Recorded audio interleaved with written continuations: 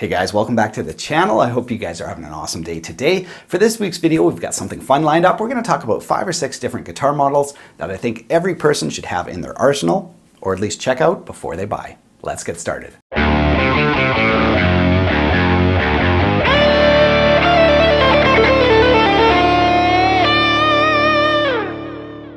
So the purpose of this video is twofold. First of all, if you're someone like me who loves guitars, loves to collect with them, loves to play on them, loves to record with them, loves to jam with other people, just loves guitars straight up, these are five or six models that I think are essential to anybody's collection. And secondly, if you're more of a new player and you're not sure what kind of guitar you want, or you're just kind of defaulting to, well, my Guitar Hero plays this one, so I really need this model, uh, these are some ones you should try out before you buy because these are absolute classics. Now, guitar number one on my list, to nobody's surprise, is the Stratocaster, the best-selling electric guitar of all time, and for good reason.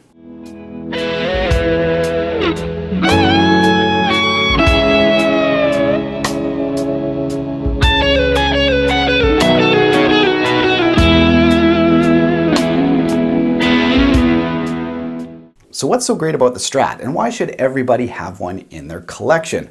Well, first of all, it's the perfect convergence of, first of all, price, versatility, playability, and comfort. All of these things converge into this one amazing guitar. Combine those factors with this guitar's incredibly rich history and nearly unparalleled number of users, and you've got yourself a proven winner. Even beyond that, you've got aftermarket support for this instrument that is unlike any other guitar on the planet. Any part you want to mix and match, you can do it. There's so many different aftermarket parts that you can customize this guitar to your liking without any trouble at all. Offered from the factory in multiple pickup configurations means you can play any genre you can dream of on a Strat. And the fact that they're offered in every single price tier from the bullets and affinities all the way up to select and custom shop stuff means there's something for everybody. So no excuses across price range or pickup configurations. You definitely need this classic in your collection.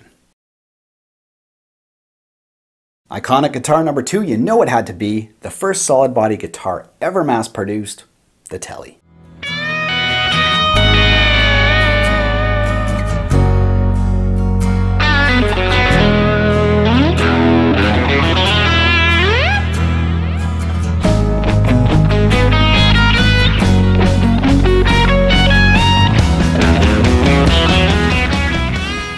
So why does the Tele make my must-have guitar list? Why do I think every guitar should have one in their collection?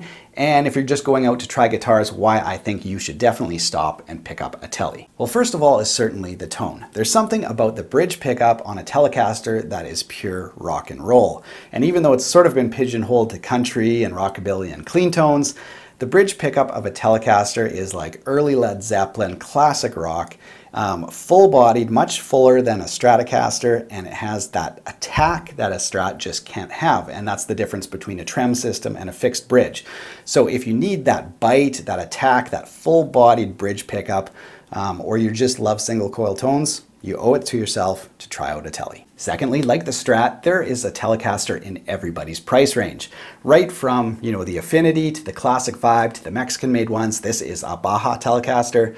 Great value for a 52 style Tele, four-way switch, so it gives you like a full humbucker, big jazzy sound, beautiful out of a Tele. Um, all the way up to, again, custom shop. So there's something in everybody's budget, so there's no excuses. So you're not the biggest fan of single coil pickups. Well, that's still no excuse to avoid the Telecaster. Any of the 70s Teles have humbuckers in them, and there's even Teles with Filtertrons. And again, that goes all the way from Squier all the way up. Have you always dreamt about a double bound Telecaster body with gold hardware, humbucker in the bridge with a P90 in the neck, flame maple fingerboard with locking tuners? Well, dream no more, just build it. It's amazing. Again, aftermarket support, while not as insane as the Stratocaster, is still amazing. So if you can dream it, you can build it. That's the beauty of having aftermarket parts. So a ton of different tonal options, definitely need a Tele in your collection.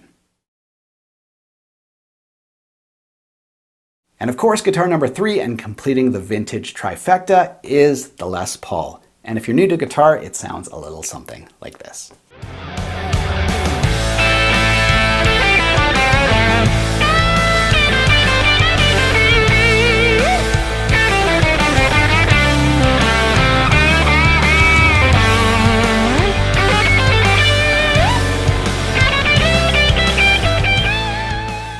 Why do I think that every guitar player should have a Les Paul? Well, first of all, it's the history of the instrument and the tone. Now, the history, along with the Strat and the Tele, these early 50s instruments really are the foundation for all the music we listen to and enjoy today. So to have a little bit of that history is really, really cool.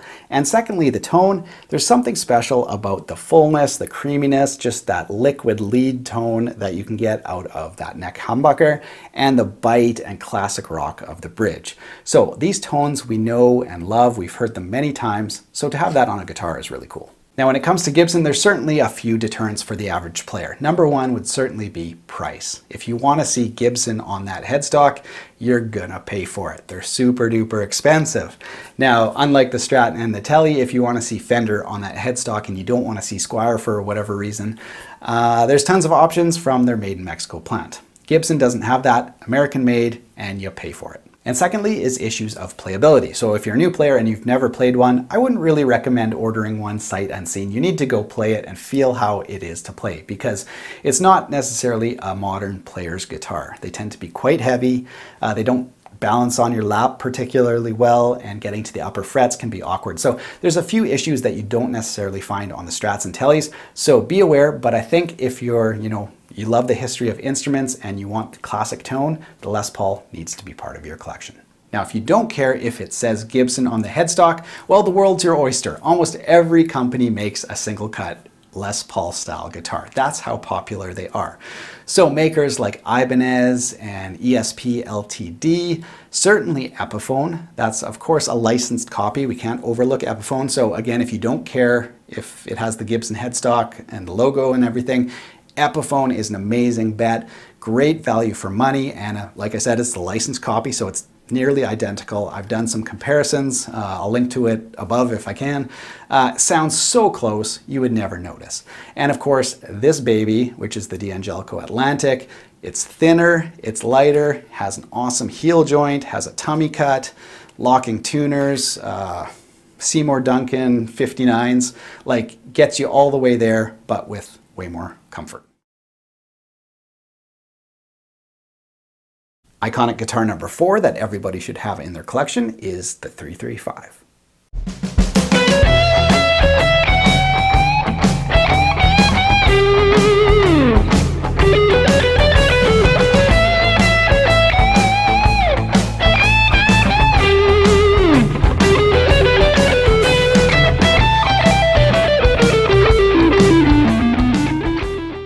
There's something really cool about a semi-hollow guitar that really makes you approach the instrument and play a little bit different when you pick it up. And that's really the hallmark of an iconic instrument. It really makes you change the way you play and approach music. And that's why I think each one of these guitars is so unique in its own way that you're not going to play the same on each one. And it's really going to inspire you to pick up an instrument when you have some classic choices. And they don't have to be expensive. This one's the Epiphone version and definitely has some differences over a stock 335. Now other than the aesthetic changes, most notably this guitar does not have the F holes. So BB King found that when you take your Fender Twin and just dime all the controls, he unsurprisingly had a lot of feedback problems. So he ditched the F holes uh, in an effort to mitigate that, but it's still, you know, constructed semi-hollow. Now a semi-hollow guitar really plays so different than a solid body guitar that it should be on your short list if you do not have one. So really nice light body, double cutaway helps you get right to the highest frets with relative ease. Um, I find it easier than a Les Paul for sure. Um, lighter, like I said, nice thin body. Um, it sits on your lap great. No hands, no neck dive, it just sits where it's supposed to. I don't know if you guys can see that, but anyway, uh, really balances quite nice and is a beautiful, beautiful playing experience. Now the tonal difference between a guitar like this and a similarly spec'd Les Paul is not actually as big as you might think. They sound very, very similar. I find that this guitar has a slightly fewer mid frequencies, so a little bit of a scooped profile, lots of treble, lots of bass, fewer mids, and on the Les Paul you get lots of mids, lots of kind of crunchy bite, and this one not so much. All right, you guys, we're down to our final pick. So far, we've got the Strat, the Tele, the Les Paul, and a semi-hollow or hollow body. And with the addition of this final instrument, you guys will be able to cover any genre possible and cover any tone. My final recommendation is Ibanez.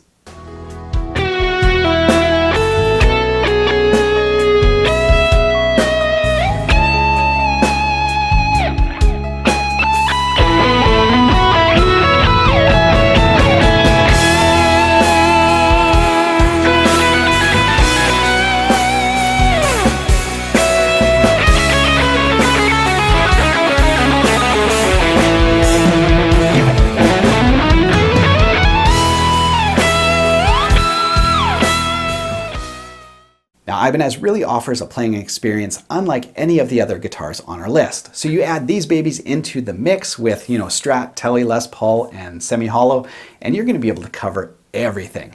So Ibanez really has a like a superlative playing experience. There's nothing like it, especially if you're in the Prestige series, although they offer, like Fender, everything all the way down to like 150 bucks, 100 bucks, like some amazing value guitars. And I think they've really overtaken Fender, at least in my opinion, of like supreme quality control all the way down their line. Like they've done an amazing job. But the S series is my personal favorite um, because of this. It is absolutely insane. It's so thin, it's so light. It, like if it's five pounds, I would be surprised. You can hang this on your neck all night and barely feel it. And of course the neck, the fretwork, everything is amazing. Now, tonally, the Ibanez offers its own unique experience. So unlike the Strat, the Tele, the Les Paul, some of these vintage spec instruments, some of the, the pickups can be like really bright and brash and really rough around the edges, which is why we like them. It kind of gives the, the music some energy. But if you need to play a part or you're covering a song that has something a little bit more controlled, the Ibanez really is the ticket. It's a very smooth and controlled sound that never really gets too wild. Now the playing experience on an Ibanez is really what makes it an icon. It's really so different than all the other guitars I mentioned before. Usually really flat fingerboards, jumbo frets, and thin neck profiles are, you know, the hallmarks of Ibanez, really makes you play in different ways, which is cool. And of course, this one has a locking trem system, so you can literally grab the bar, support the whole weight of the guitar, whammy it around, and it's going to be in tune. So really unique playing uh, techniques that can be available on an Ibanez. So let me know in the comments below if I missed any of your favorite classic guitars that you think should be on the list that everybody should check out. I mean, I played exclusively on Music Man for like a decade. Maybe that should be on the list. Anyway, there's tons of awesome classic guitars.